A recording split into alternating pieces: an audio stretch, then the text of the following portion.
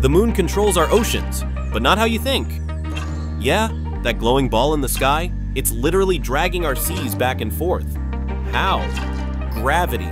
The moon pulls on Earth's water. That creates a bulge. That's high tide. But wait, there's a twist. There's another high tide on the opposite side of Earth. One caused by the moon's pull. The other? By Earth's motion. Inertia pushing water away. Two high tides, one moon, every day. Mind blown yet? Now here's the crazy part. The sun is 400 times bigger than the moon. But the moon has twice the effect on our tides. Why? It's way closer.